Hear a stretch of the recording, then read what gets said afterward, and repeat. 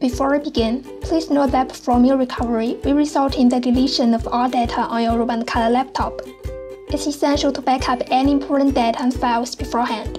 Visit the official Robo & Kala website and download the recovery package, and the undownloaded file. Prepare a U-disk that supports FAT32 format. It's recommended to use a Type-C port or low-power adapter or hub. Format the U-disk to FAT32. Copy the recovery package to the root directory of the U-disk.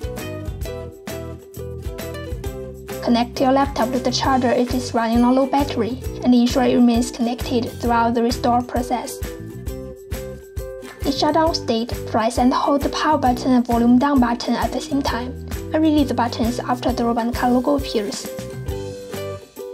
The system will initiate the recovery process automatically.